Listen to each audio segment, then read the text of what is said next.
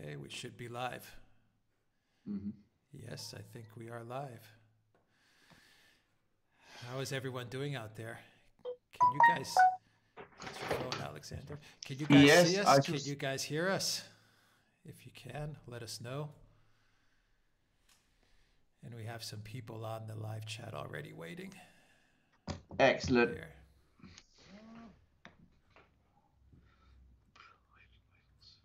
All right. Let us know in the live chat if you see us and if you can hear us okay. Hello from Helsinki. All right. Hello from Finland. Yes. Holland. High five. All right. Durham, UK. Maine. Center of the universe. Hello from Maine. Mhm. All right. London says hi. And isn't that a coincidence? Because we have in London, the Oracle Mhm. of London, Mr. Alexander Mhm. Mercouris. Alexander, how are you doing? Well, I'm very well, but a little a little tired. I spent much of the day uh, ploughing through the Mueller report, which I've read in full. I've also read Barr's uh, comments, um, which he made at his press conference, and I've also watched a very interesting video in which Rudy Giuliani, who is one of Tr- Donald Trump's lawyers, uh, comments on the Mueller report. So I've been quite busy and have had to absorb a lot of material but I think the picture's pretty clear. All right. Someone said the sound was a little low. I, I amped it up a little for both of us. We hope everyone is doing really, really good out there, really well out there. Here it is evening. It is 10 at night. In London, I believe it is 8 o'clock. And in the US, in the US, it was uh, mid afternoon, early afternoon, when AG Barr gave a press conference. And after that press conference, Alexander, he delivered the two year in waiting Mueller report to Congress, and eventually he put it online. You grabbed it right away. You had a you had a good uh, reading session, 400 pages in a couple of hours, a good speed reading session. Mm. Alexander, what do you make of the Mueller report? In summary, Alex, a gigantic fishing expedition which caught no fish. It's divided into two parts. The first is a uh, exhaustive investigation of the collusion allegations, which involves uh, taking every single contact between the Trump campaign and the Russians, taking them incredibly seriously, investigating all kinds of people, pushing them through the grinder, in effect, to try to get them to admit to something bad, and absolutely nothing bad ever turns up. It is uh, uh, ex- relentlessly hostile, I should say, in its tone and content to Donald Trump and his campaign, but in the end, it comes up with nothing. And the second part is another section which is relentlessly hostile to Donald Trump, and which, in my opinion, by the way, has no factual or, or, or evidential basis. It seems to me to go completely against the remit of the report, which is this huge exploration of whether Donald Trump committed obstruction of justice. I, I don't understand why that's even in the report at all actually, because that was not what Mueller was supposed to be investigating. After all, there is no evidence that Mueller's investigation was ever obstructed as a matter of fact. And most of this part of the uh, report is a uh, gigantic and uh, very academic and, in my opinion, entirely misconceived academic discussion, much of it on very obscure points of law, which in the end comes to no real conclusion. Now, can I say about that?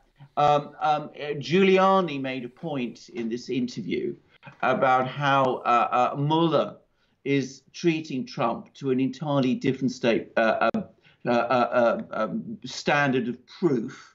Give our So, viewers some some uh, some backstory. yeah. Giuliani was on Fox on Fox News Yeah, he was pretty on much right Fox after the News. report and, and gave a good exactly. interview. A, a, good interview and a very long one, put through some very, very acute questions.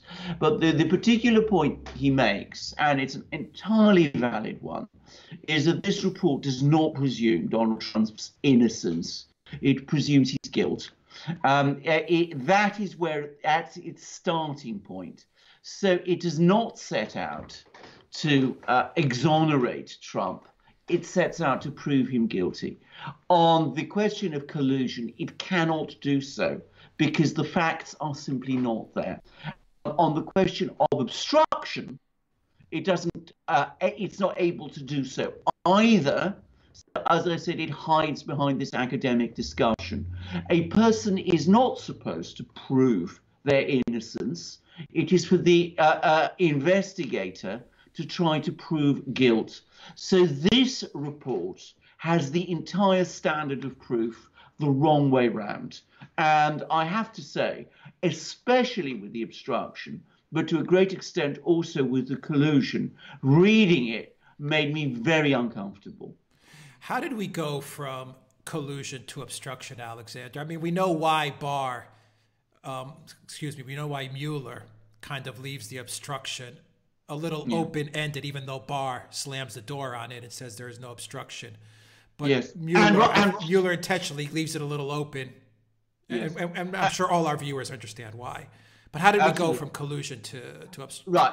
to obstruction? To obstruction. I, I, say it's very straightforward. I mean, uh, what happened uh, uh is that very, very quickly they find that there is no that there is no collusion. I mean, uh, uh, Andrew McCarthy on National Review, and he's a former federal prosecutor, has said that Trump, uh, sorry, that Mueller must have known that there was no collusion and no conspiracy with the Russians by uh, uh, mid 2017 or perhaps late 2017 at the latest.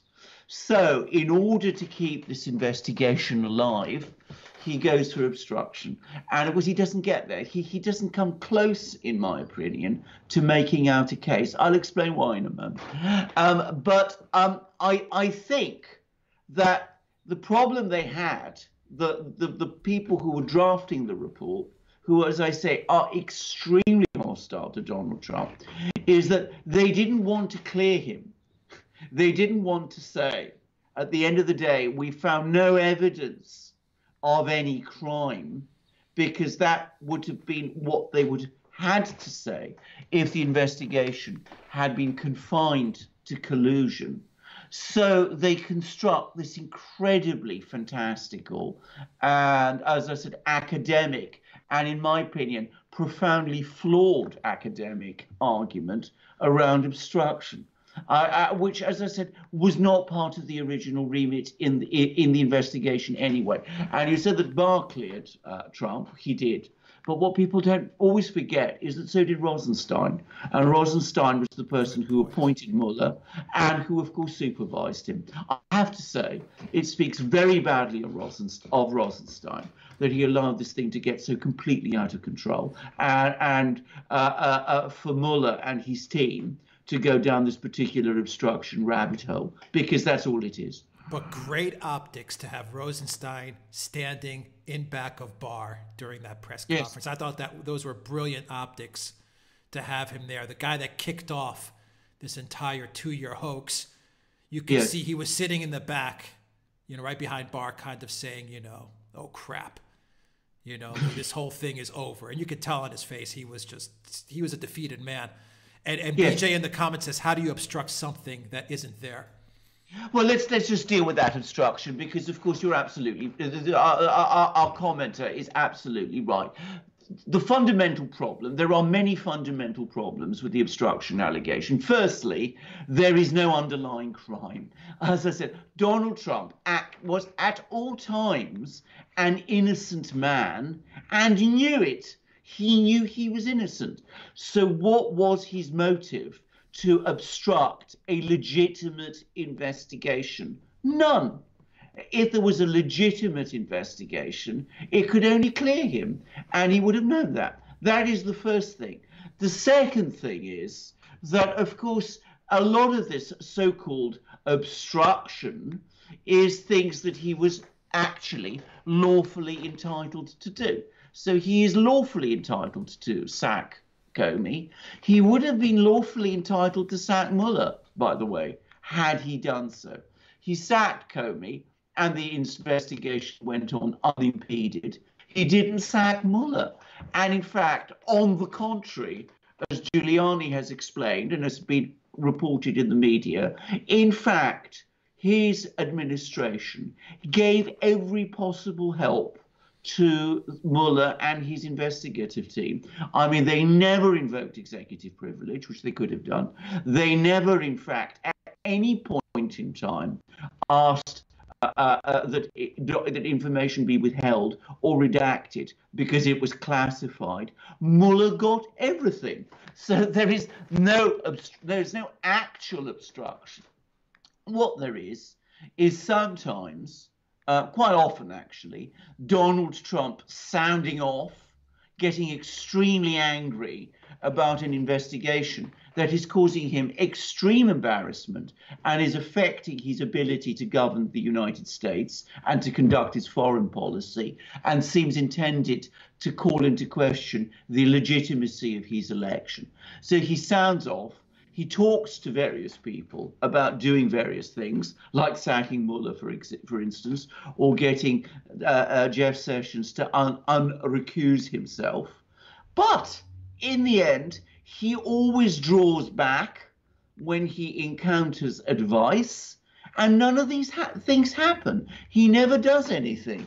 So uh, it, it, it, it's absurd. If I can just give an example, people are bring, bringing up Richard Nixon and Watergate. In Richard Nixon's case, when he was basically caught for obstruction, there was an underlying crime, which was the burglary of the Watergate building, which was carried out by people who were connected to and acting for Richard Nixon's campaign, his presidential election campaign. And Richard Nixon did actually take actual steps to stop that investigation into that crime. He authorized payments to the burglars, you know, of harsh money, and he tried to get the CIA to obstruct the FBI in its conduct of the investigation. Did it very badly, by the way, and he, he didn't succeed, as we all know. But that's what he did.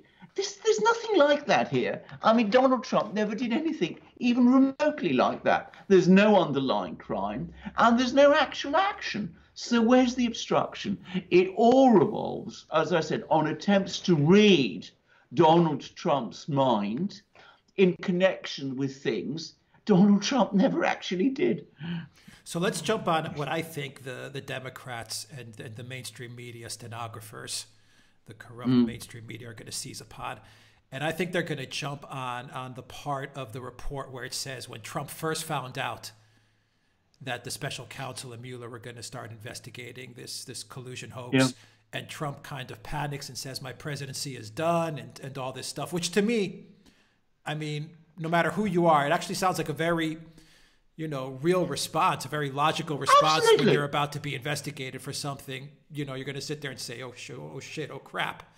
You know, this is a disaster until you you get legal counsel, until you talk to other people, and you start to put, you know, some things together. But I think they're going to seize on this. What, what, what do you make of that?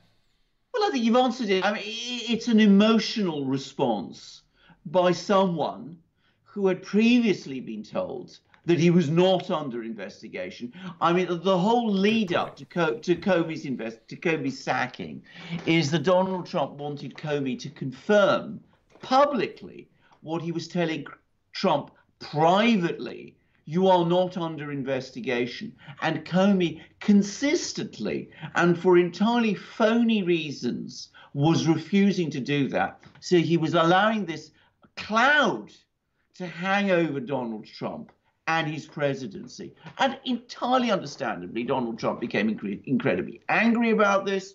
And then Rosenstein comes along and provides this memo in which he says that Comey completely mucked up the Hillary Clinton uh, uh, email investigation, which he did. So Donald Trump then decides, well, you know, I'm going to sack this man. And at that point, at that point, when he does something which is fully within his lawful power, getting rid of someone who has gone out of his way to conceal the fact from the American people that the president is not under investigation Somebody comes along and tells him, well, now you are under investigation.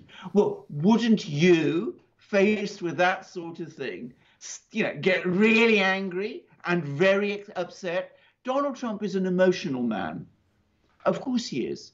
he's entitled to have his emotions. It's not what he says to his intimates, it's what he does. Exactly. And he didn't do anything. And I mean, yeah, to try and build something out of this is nonsense. All right, let's do a super chat, and then we're going to get into Russia and WikiLeaks, Alexander, because I think that's also yeah. a very interesting part. Yes. A super chat yes. from Jas. At his press conference, Barr went out of his way to commend Rosenstein. Does this mean that he believes that Rosenstein did not try to wear a wire? And he's referring to the to the part where Rosenstein and a lot of the FBI DOJ guys were kind of sitting around saying, you know, let's I'll, I'll wear a wire and I'll get Trump to to say this and that. What do you make of Barr commending Rosenstein uh, before the press right. conference? Just just right. PR. Right. Yeah, was right. Okay, just just on the question of the wire, I don't think that there is any contention that Rosenstein said he would do that. I mean, he didn't actually do it, but he did say he would do it. He says it was a joke. A joke yeah. Others, others like Andrew McCabe, who was the deputy director of the uh, FBI, said that he meant it entirely seriously. I think Barr uh, was being extremely clever because there have been attempts to uh, uh, say that Barr is in some way distorting Mueller's findings and to attack uh, Barr and to make out that Barr is Trump's placeman. So by bringing in Rosenstein, who is no friend of Donald Trump's, and getting Donald, uh, getting Rosenstein to associate himself with uh, Barr's le- uh, uh, findings and legal conclusions, it takes away the heat from Barr himself and ultimately, let's be frank about this, from the president. So I think it was an extremely astute move. Keep your enemies and close. Keep your enemies close, exactly. And I think that's what Barr was doing. Mm-hmm. Yeah. All right. Let's get into what I think is perhaps one of the most interesting parts of the Mueller mm. report, which is the the Russian part and the WikiLeaks part. So we see that Barr and Mueller, Barr in his statement and Mueller in the report. Mm they tie in the Russian, the St. Petersburg uh, troll farm yeah. up there. They tie them yeah. in, and they tie in the GRU uh, hacking, mm. and they manage to circle it all back around to WikiLeaks. Get into that, mm. Alexander. Take your time, explain this because I think this is really important.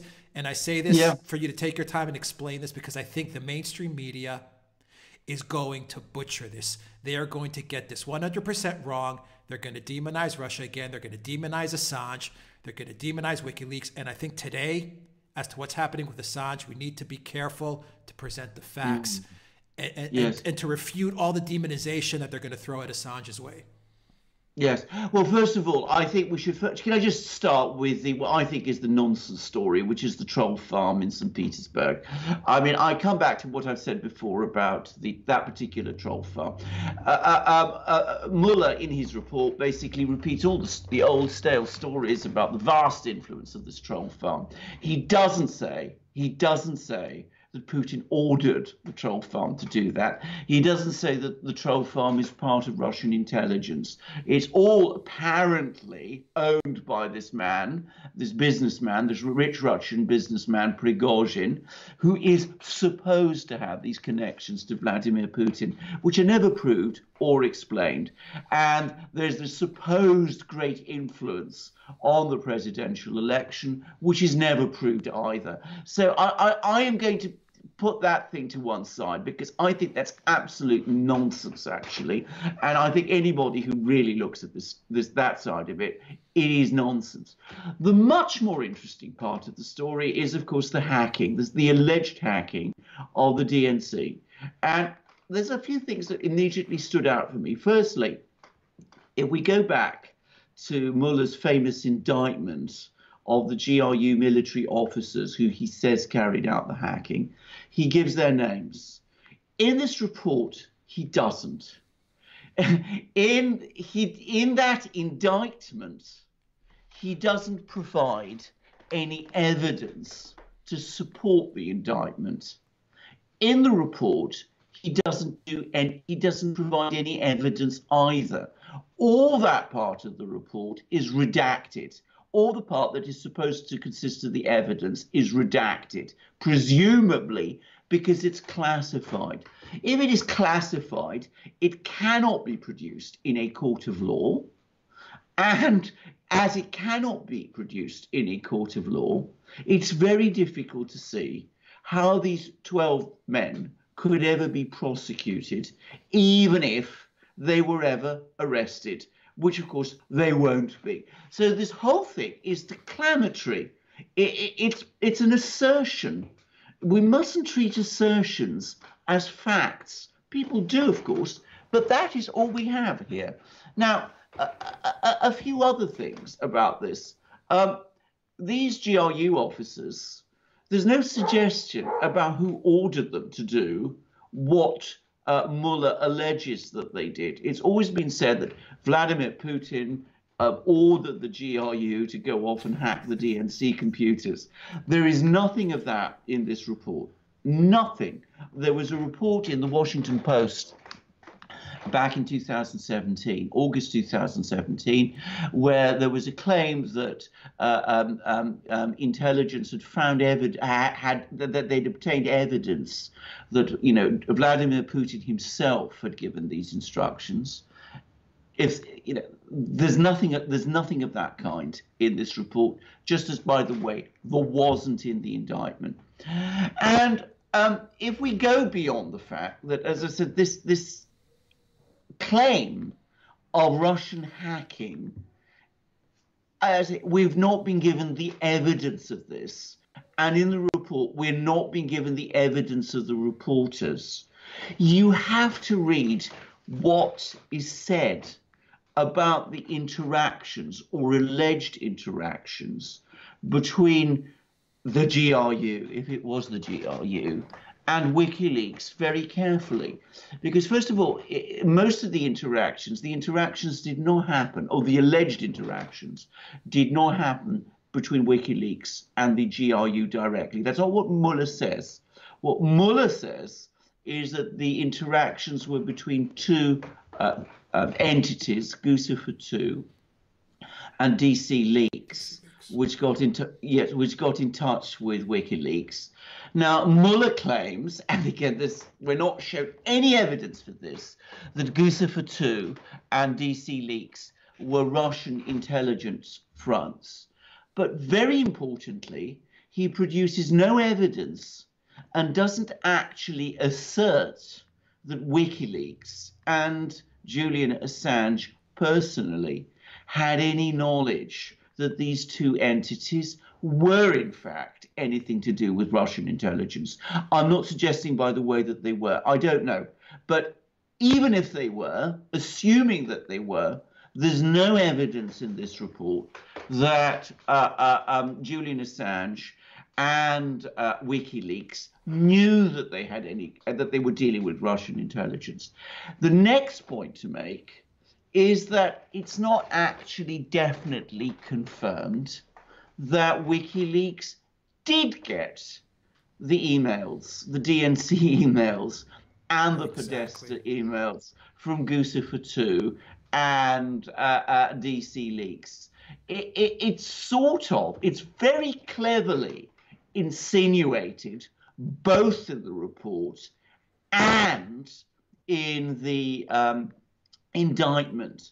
But it doesn't they're not actually able to prove that. They give some uh, um, they make some deductions which might be said to point in that direction.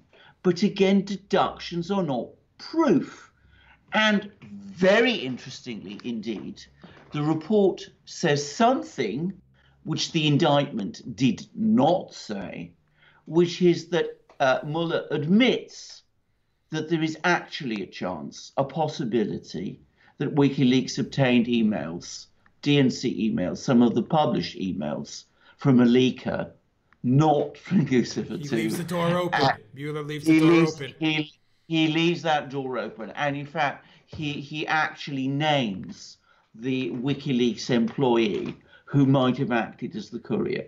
So um, it's it's a story which uh, Mueller is trying to make very impressive And if you read it uh, quickly, it looks impressive.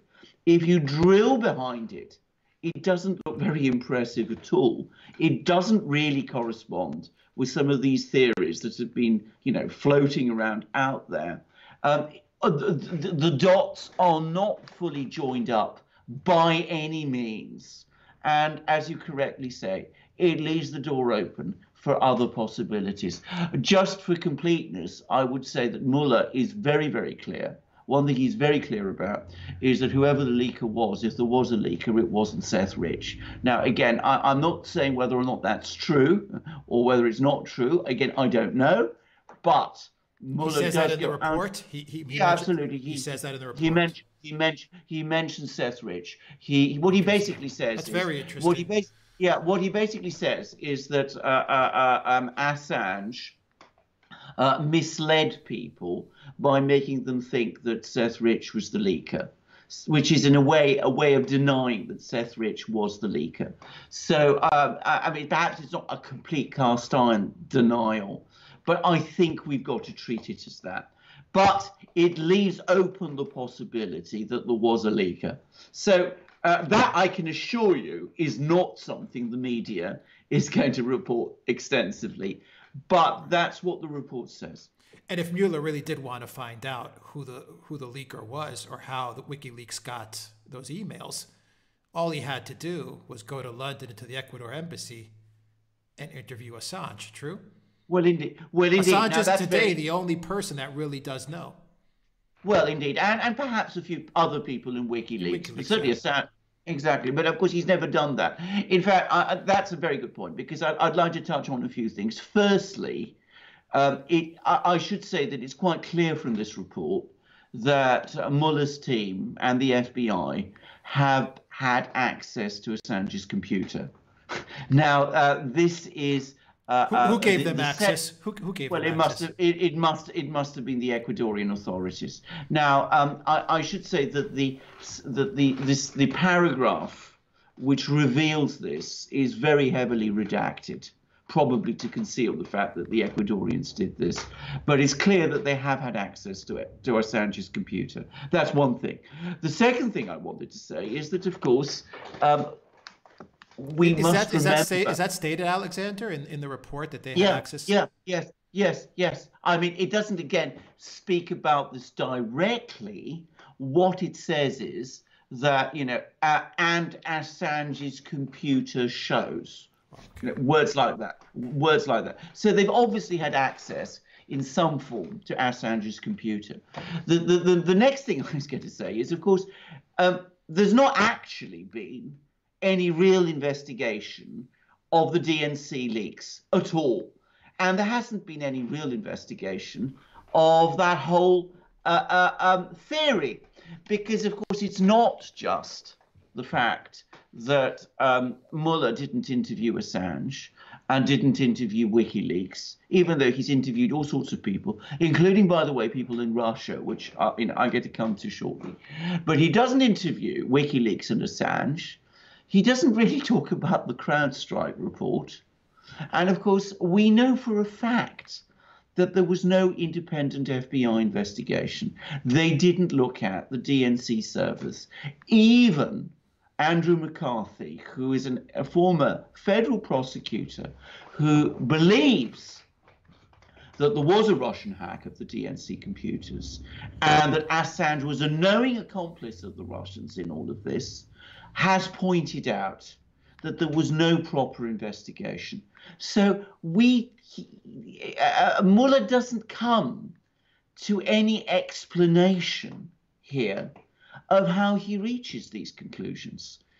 He, he doesn't really provide any explanation or any real evidence to back, let's not call them conclusions, but these allegations of this of, of, of this connect of these connections between WikiLeaks, between the Russians, about the hack, about any of these things. He states them in in ways that, as I said, make it seem as this whole thing falls together but but the glue isn't there. it's done on purpose, of course, because. Oh, of course it is. Yeah, Mueller knows that, that that the media is going to try to fill in the dots with with more outrageous stuff. Well, of course it is. I mean, I, I, my own personal view about this is that what Mueller is trying to do, Mueller personally is trying to do, is he's trying to protect the FBI. So he, he is trying to, because of course he was the FBI director for many, many years, and I think he sees it as his personal um, uh, uh, fiefdom, and he wants to do everything he can to protect it. So I think that's his motivation, and so he skates over the fact that none of this has ever been properly investigated. And at the same time, uh, many of his investigators, and let's be very clear of them, some of them are, oh, not some of them, most of them are Democrats. And as Rudy Giuliani pointed out, one of them was uh, chief counsel for the Clinton Foundation, which is extraordinary. Exactly, which is extraordinary, actually. I mean, they, of course, have a massive interest in perpetuating this story of the Russian hack, of the DNC, of the Russians conspiring with WikiLeaks and publishing the emails. I mean, that is the theory that Hillary Clinton and the Democrats have run with.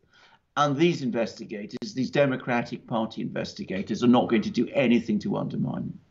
Okay, so we touched upon WikiLeaks and Assange as, as being a key piece to this puzzle. The yes. other key piece to this puzzle, of course, is Christopher Steele. Mm-hmm. Very interesting. Is, is, is he mentioned in the report? Because I know your answer to this. Is he mentioned in the report? Did Mueller speak to him and we just don't know about it? Because I can't think of a more central person to this entire Trump witch hunt than Christopher Steele and the Steele dossier. I think it's marvelous that you answer, asked me this question, uh, Alex, because I so well remember reading back in 2017 how Christopher, Christopher Steele's dossier was providing the frame narrative for the entire collusion invest, investigation. We know that uh, uh, Comey attached it to the um, intelligence community assessment that was shown to Trump. We know it was published by BuzzFeed. We know that it was used to obtain FISA warrants against Carter Page.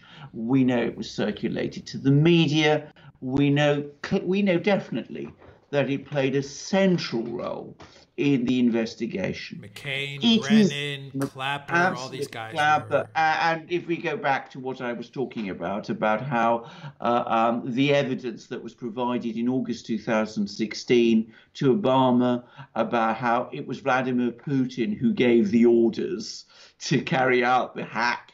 Well, that that also, it's now, I think, absolutely clear that came from the collusion, uh, from the uh, Trump dossier, from the Steele dossier. Well, it's a, it, it, it will amaze our, our, our viewers when I tell them it is not in Mueller's report at all. Four, 400 is, pages, and he doesn't mention Steele at all. 422 pages. I think Steele gets one mention.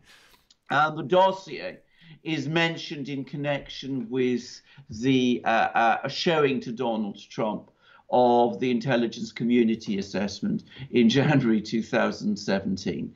But you would never know of the importance of this dossier to the whole Russiagate conspiracy theory or, or the enormous influence that it had or the enormous effect it had on the conduct of the investigation, or the way it was used by Adam Schiff and the Democrats in the House Intelligence Committee, or any of that from this report. It's as if this thing never existed. It's it's it's disappeared like a puff of smoke.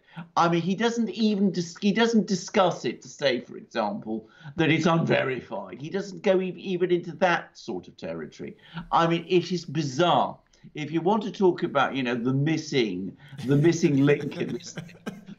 The, the, the Steele dossier. It's, it's, not like he's he's in he's in London. Go grab the guy. You can extradite well, Assange from the UK, but you can't extradite Steele.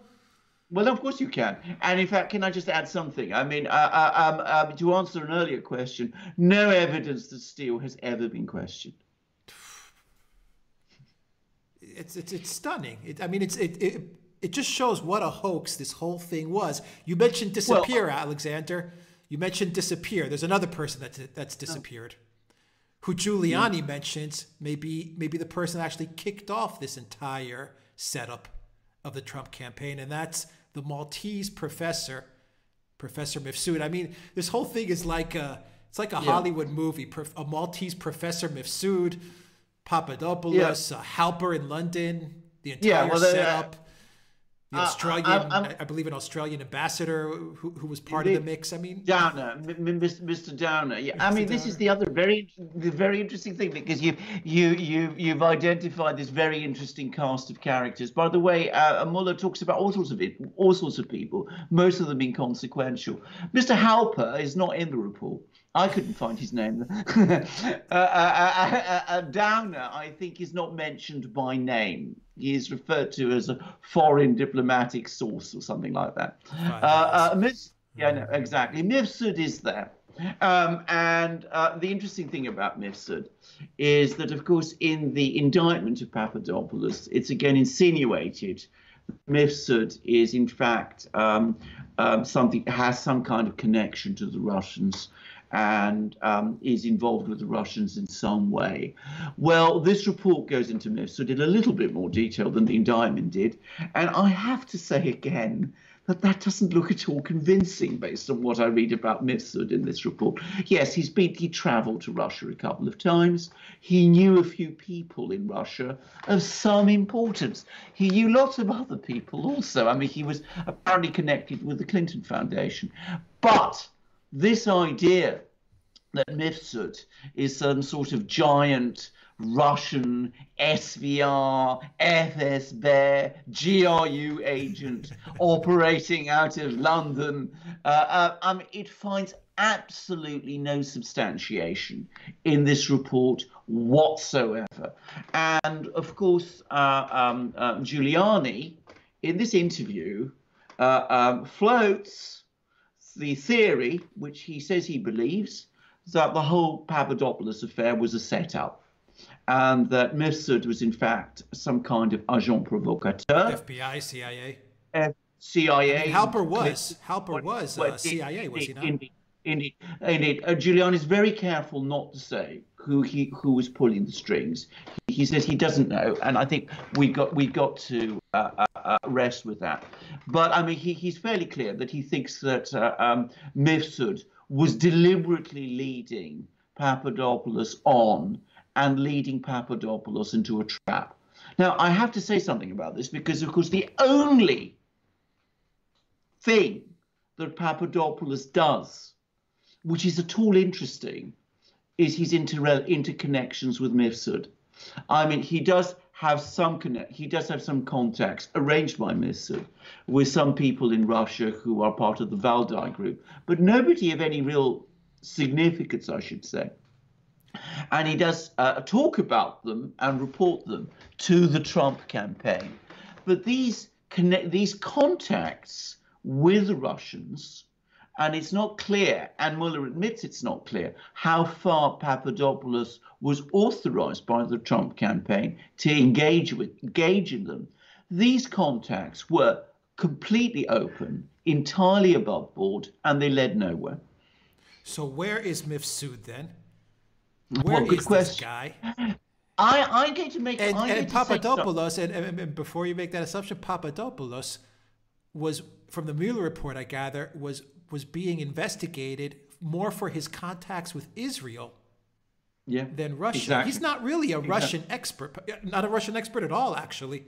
Well, indeed. Well, indeed. Well, indeed. I'm going to make a. I'm going to say something about this, uh, which I don't think anybody else has said, and I want to stress: this is a theory. It's an opinion. It's a possibility. It is not a fact. I'm starting to wonder whether Joseph Mifsud is even a real person. I, I, I, I, his academic background seems to be extremely sketchy. I mean, he certainly did have connections with certain universities in Italy and uh, in Scotland, in Stirling University, and he seems to have run this London Diplomatic Academy, which seems to have had no real existence. and he seems to have traveled a bit. But he doesn't really seem to have very much of a life story behind him. And I wonder, I wonder whether what we're looking at is uh, obviously an individual um, operating under some kind of assumed identity. Now, I, I, I want to stress this is a theory. I have no facts to support it. But if, if that is correct, then that might explain why Professor Mifsud has so completely disappeared, vanished. so that we are vanished into thin air, so that we're asked to believe that the mighty US intelligence community the biggest and most powerful intelligence community that has ever existed in the history of humankind cannot find him, which I find incredible. Now, of course, the other possibility is that he's, you know, uh, um, you know, uh, uh, dead and under concrete or in a fish tank somewhere, chopped up. I don't know. I mean, I really don't know. But as I said, I, I am starting to wonder about Professor Mifsud, and if he was indeed as Giuliani thinks, and as the, the, the facts suggest some sort of provocateur, then of course the fact that you know this might be a constructed identity. You know, you know, spies do use constructed identities. That that seems to be me to become a more plausible theory.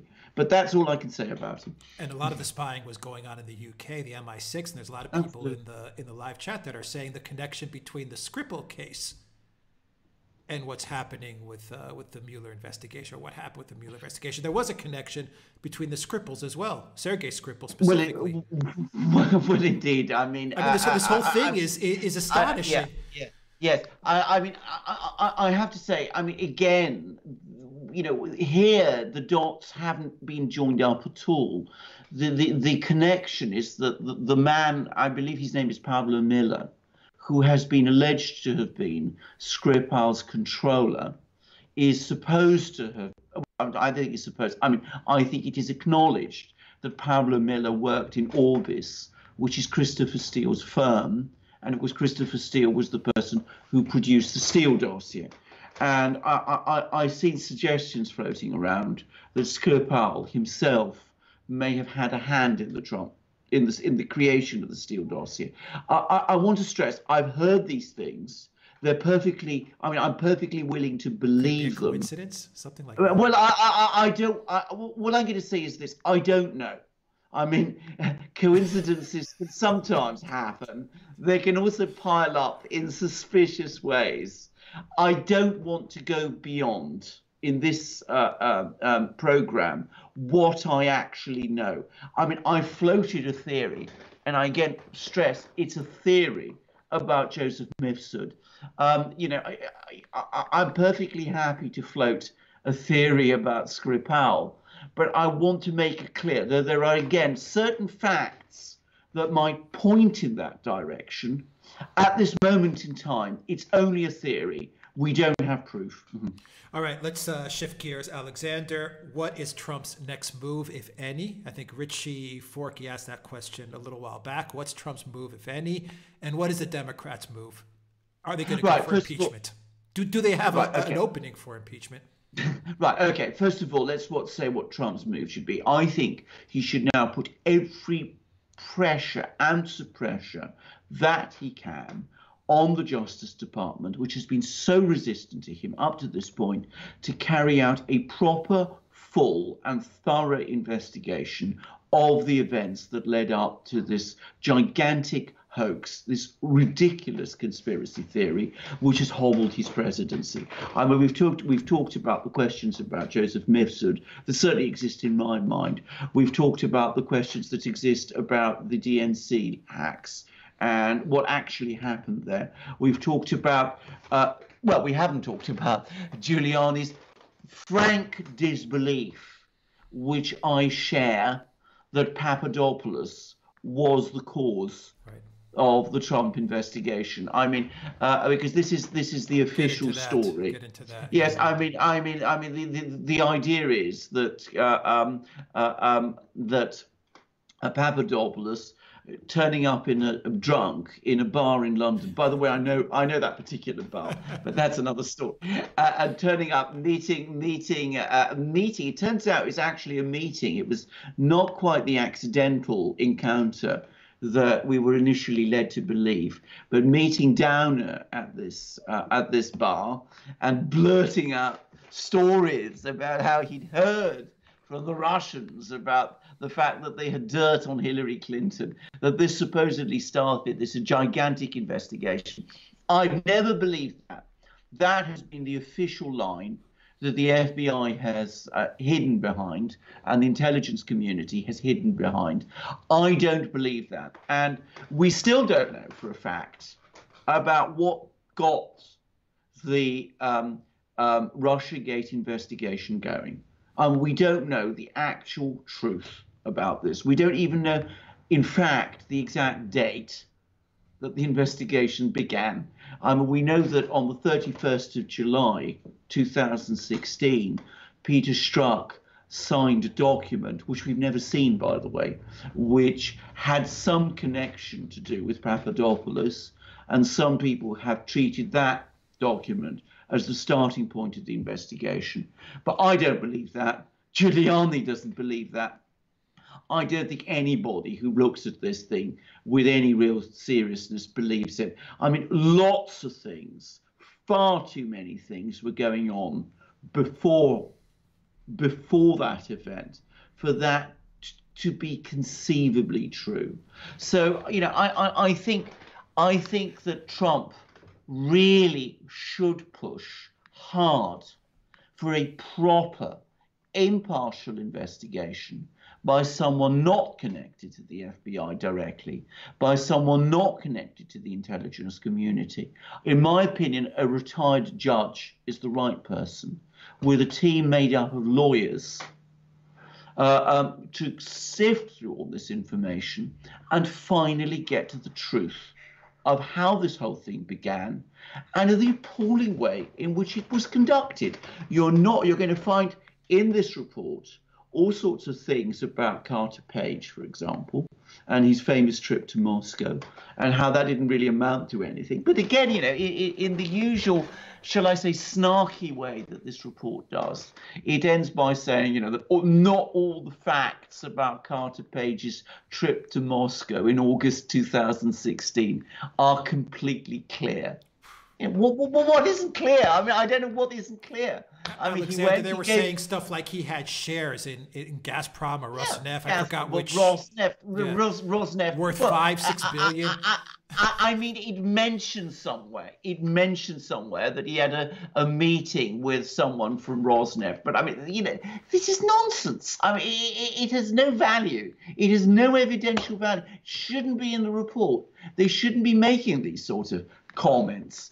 But, you know, uh, uh, uh, you will never find anywhere in the report any discussion of the FISA warrants on Carter Page, on the fact that he was being uh, surveyed, and the fact that these FISA warrants were based in large part, in fact, I suspect, 19, you know, in, in, in larger parts on the Steele dossier, which, as I said, barely gets a mention anyway. Well, Trump can release uh, those documents, can't he?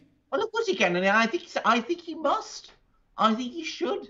I think we need we now need to see the other side of the story. I mean, this is a very very aggressive inquisitorial document, and I think in his own political interests, Donald Trump needs to release the other documents in order to start putting the record straight.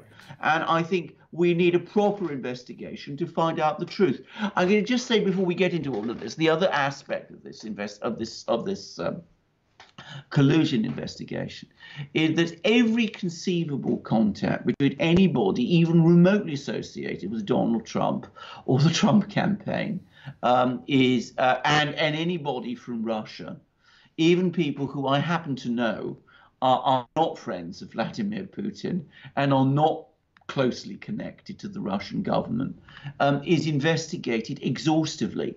I mean, there's an enormous amount of discussion about a meeting, for example, between uh, Kirill Dmitriev, who is the head of Russia's sovereign wealth fund, or rather uh, investment fund, uh, uh, and uh, the man who heads Blackwater, uh, Prince, Prince, I can't Eric remember Prince, his, yeah. Erik Prince exactly, and this meeting in the Seychelles, and you know I was reading and I said, you know, what does all this mean? You know, wh- where's this all going? It doesn't go anywhere, and yet there's this constant attempt to try and make it sound as if all these there's something there's something sinister or suspicious about these Russians contexts. everywhere. Russians everywhere. Exactly. Yeah. There's nothing. There's absolutely nothing like that at all. As I said, there's constant attempts to make out that you know Paul Manafort's dealings with various Ukrainian oligarchs. Get, get into is, that. Get into that. A lot of people yeah, in, the, I, in, the, chat I, are talking about Ukraine. The real collusion is Ukraine, well, and the I, lie about well, Manafort and Russia, where it's really Manafort and Ukraine. Well indeed. well, indeed. I mean, this is it. I mean, you know, Paul Manafort clearly had lots of connections with Ukrainian oligarchs. And uh, uh, interestingly enough, for me, one of the leading characters that, that, that, that turns up with whom he was in contact in 2016 and before is a very, very powerful Ukrainian oligarch called Rinat Akhmetov. Rinat Akhmetov is consistently portrayed in this report as um, pro Russian. Uh, Akhmetov is not pro-Russian. He supports Poroshenko, who is the president of Ukraine, the pro-Maidan president of Ukraine, in the current election campaign that is underway in Ukraine at the moment. Now, Mueller does not look at the Ukrainian side of things supporting Hillary Clinton. That's only coming up now. Giuliani, by the way, touches on it in this uh, video with Fox News. But what he does is he treats these contacts that Manafort has with these Ukrainian oligarchs as somehow um, implying collusion between the Trump campaign and Russia, or possible questions about collusion between the Trump campaign and Russia. And he always refers to these oligarchs, some of whom, as I said, are not in fact pro Russian, as pro Russian oligarchs. And there's a huge amount said about a man called Kilimnik, who is, as I said, Ukrainian, though he also has Russian citizenship, but he's Ukrainian. And again, it's all made out to be somehow very sinister. And it isn't. I mean, it, it, it might be wrong in many ways but it is not wrong in proving collusion between the Trump campaign and the Russians.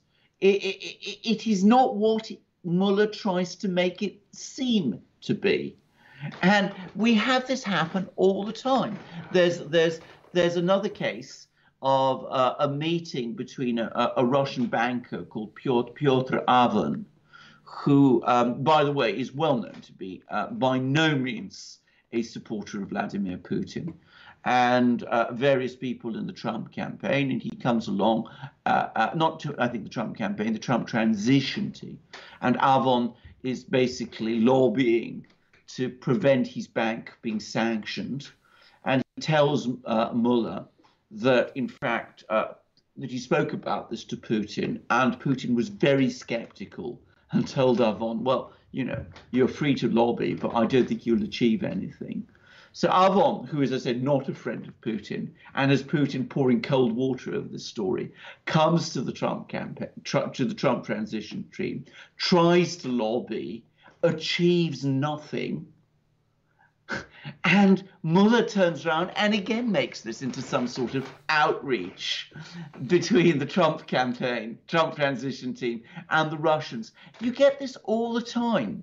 As say, innocuous contacts that lead nowhere, achieve nothing, and are always made out to be somehow sinister and and, and connect to something. It's red meat, though, don't. isn't it? Isn't it, Alexander? It's, it's just Mueller feeding red that, meat to the Democrats, to the mainstream media, to the deep state.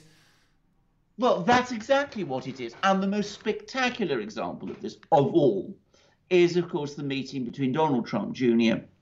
and the Russian lawyer, Natalie Veselnitskaya, in, in Trump Tower. And again, we see all sorts of attempts to try and make this out into something very, you know, sinister, that this was an attempt by the Russians to outreach to the Trump campaign. Uh, uh, Mueller has to admit that actually nothing came out of this meeting.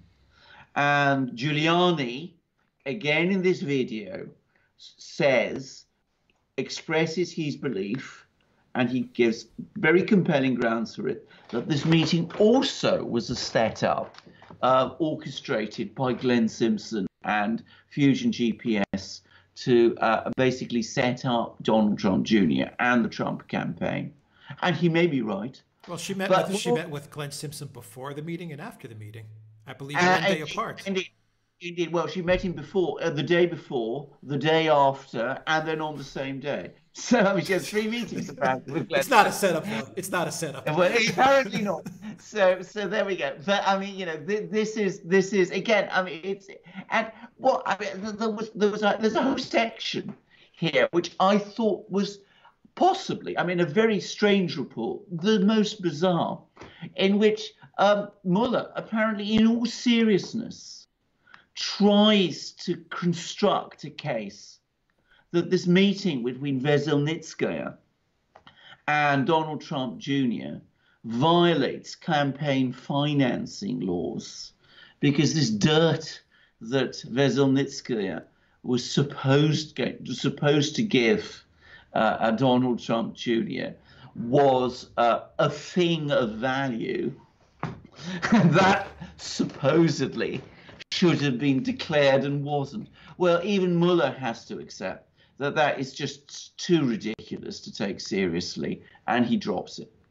But I mean, you know, there's a whole section. I mean, I, you know, very, I, I have to say there are some very weird things in this report, but that that may have been the weirdest.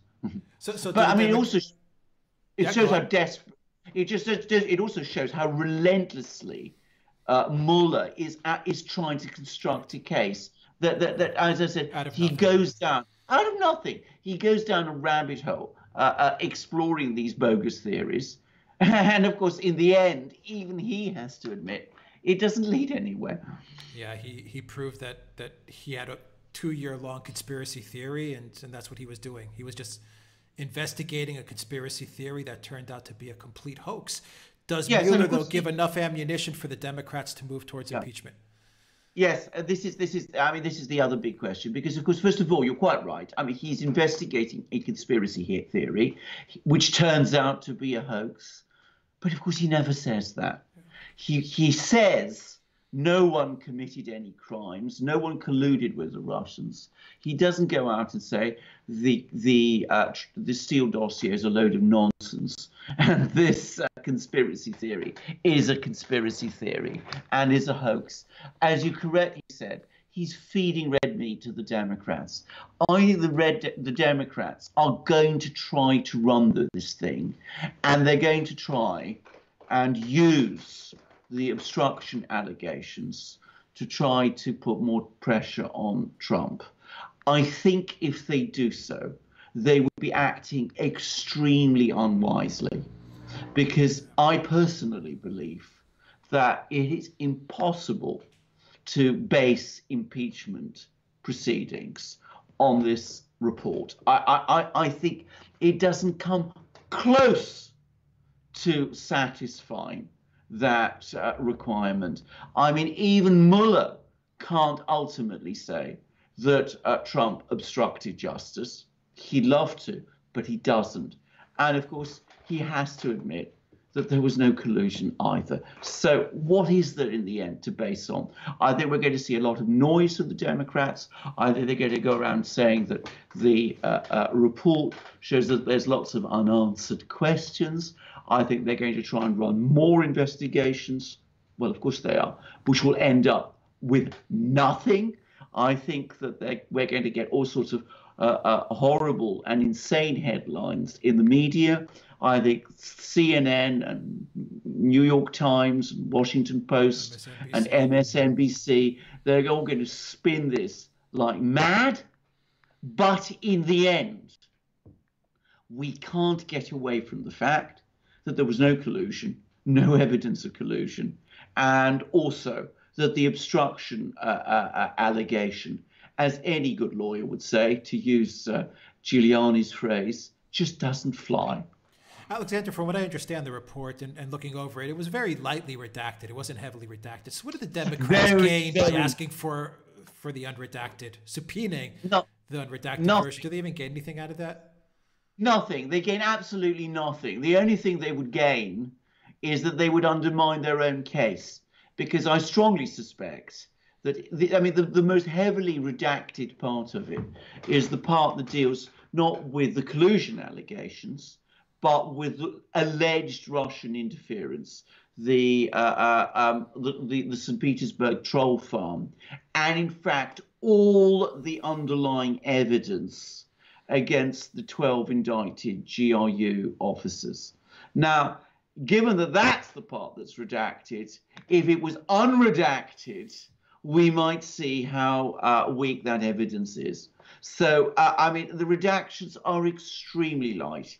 And again, I think anybody who uh, uh, takes the trouble to read all 422 pages of this report, including, by the way, the appendices, which I have read, and which, uh, uh, I mean, uh, um, you know, the, you need a few stiff drinks to get through it, if I can put it, you know, provided you do that, you will see that there's very, very, very little that's blanked out. Yeah, and they don't want those, the, the parts with Russia they want those to stay redacted because exactly. if the truth exactly. gets out, people are going to just they're going to laugh at, the, at, at how weak the exactly. entire Russia part of this hoax is. Exactly, the parts that are redacted, it's in their interests to, to keep, keep, redacted. Yeah. I mean, I mean, it, it, doesn't undermine their story. The redactions make their story look stronger. And it's a bipartisan support for that story. It's Republicans Absolutely. and Democrats Absolutely. that support Absolutely. that Russia story. Absolutely. I mean, the obstruction part of it is barely redacted at all, and that's where the, uh, most of the red meat is. And also all this all this nonsense about all these contacts between Russians and members of you know Trump's team and Trump's campaign. Uh, that's also uh, uh, uh um, um, barely redacted at all. Yeah. All right, Michael O'Reilly. Thank you for your super chat, Tulsi 2020, and finally Alexander. Loretta Lynch met with Bill Clinton on the tarmac. A lot of people forget about that meeting in Arizona. Do you think at the end of the day, we may never find out? You always hold out hope that we may find out. I don't think we ever will, but you always hold no. out hope that this may point all roads pointing to Obama. At well, we must hold day, on. that's that's where it all leads to. Well, we must hold on to hope because without hope, it all dies. Um, but if I may say so, you're, no, you're not going to find anything about Loretta Lynch meeting Bill Clinton in Mueller's report. There's none of that there either. I mean, that that's not what he talks about. I mean, that obviously, I mean, he would say it wasn't within his remit to look into those things, which is true. But I mean, uh, um, the other side of this, which is, you know, what was going on between the Justice Department, the unmasking, the reports that you know were being sent to Obama, all that side of it, that isn't there. I mean, you'll find all sorts of things about, you know, Michael Flynn's completely inconsequential activities with Ambassador Kislyak, for example, which, again, amount to nothing. You'll find lots of things about things that Michael Cohen has said. By the way, several of them, I should say, actually help Trump. I mean, uh, uh, uh, they're, they're not by, by no means all of it Cohen's evidence in the end turned out to be uh, um, damaging to Trump. Right. You find all about that, but you're never going to find anything about all the other things that were going on. As I said, steel belt features, CrowdStrike. I, I don't remember seeing Strike, CrowdStrike's name even mentioned. You're not going to hear. You're not going to find out about Glenn Simpson. You're not going to read it. Ukraine, Uranium One, Uranium One Bruce Ohr, McCabe. Okay. None of none of that is there uh, and uh, uh, James Comey's only role in Brennan, and Brennan isn't there. Uh, the only role, uh, as I said, James Comey has in it is, you know, to, in, in this prolonged discussion about whether Trump's sacking of him was obstruction of justice, which of course, I mean, one other point I'd say about that, because uh, one thing that Mueller skates over is that when Comey was sacked, the Russiagate investigation wasn't even a criminal investigation. It was a counter-espionage investigation. No one he ever mentions that. that. No one ever No, no, no, that. you know, I, I, I don't. I mean, again, you know, may, maybe I missed it in my reading of it, but I didn't see it in Mueller's report either. So, you know, there we are. So, I mean, it, it, you won't find any discussion about the illicit things that were going on in the Justice Department and the FBI and uh, the CIA and the DOJ and within the Obama administration. I mean, that just isn't there. Yeah. You know what this all is about, Alexander? It's, you know, look at this shiny object here because we don't want you to look over there at what's really going on. Well, that's right. that, that's well, what this that's is right. all about. Yeah. Well, that's right. That's right. The only thing I would say about it is that the shiny object, if we're talking about the specific report, turns out in the end not to be that shiny, because in the end, he just wasn't able to make his collusion case stick. He, he, it, it, it, it, was, as I come back to what I said at the beginning, a fishing expedition that in the end didn't catch any fish. And however hard he tries, and Mueller tries very hard, he can't get round that. So would you close it out and consider this a big victory for Trump? I think it's a conclusive victory for Trump. I think, I, I think, I think, at least in legal terms. I mean, obviously the Trump, the the Democrats and the media are going to spin it how they want to, but I think uh, the reality is he's been cleared. He always said there was no collusion. He was right. Even Mueller admits that. Barr was the difference. Sessions was was awful, and Barr made the difference. Would you also conclude that? Well, well, absolutely, and I have to say this is another thing, which is, of course, that um, Mueller tries to uh, uh, uh, um, uh, make Sessions into the good guy in response to all of Mueller's criticisms. Of, oh, sorry, all of Trump's criticisms of Sessions. That's not my opinion at all. I mean, the fact of the matter is, Sessions, as head of the Justice Department, which he was, even though he'd recused himself, and Rosenstein, as Deputy Attorney General, allowed this fishing expedition to, to, to, to go completely off the rails, uh, uh, uh, causing enormous damage to the constitutional system of the United States and calling into, into question the legitimacy of a presidential election and calling into question the very office of the presidency. So, I mean, you know, I, I, I think that if Barr hadn't stepped in when he did, um, I think what we would have got much closer to the 2020 election is a report which would still have said there was no collusion, because frankly, the collusion case isn't there, but which I suspect was trying to find a way of saying that there was obstruction by Donald Trump and might have ended up saying it. But it, it wasn't going to get past Barr, and so they didn't they didn't go there. Do you think Barr handled at the end of the day? You think Barr handled this whole process the right way? Absolutely. I, I, I think I think Bill Barr is the hero of this affair. I think I think he he enforced the law.